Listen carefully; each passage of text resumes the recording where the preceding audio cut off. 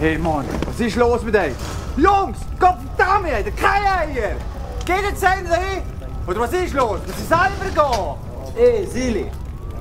mach mir kein Joghurt. Ich gehe schon ein. Was bist du jetzt für eins? Der Martin. Als Member Plus von der Raiffeisen kannst du so verdammt viel, dass du auf einmal einfach das Gefühl hast, du kennst alles.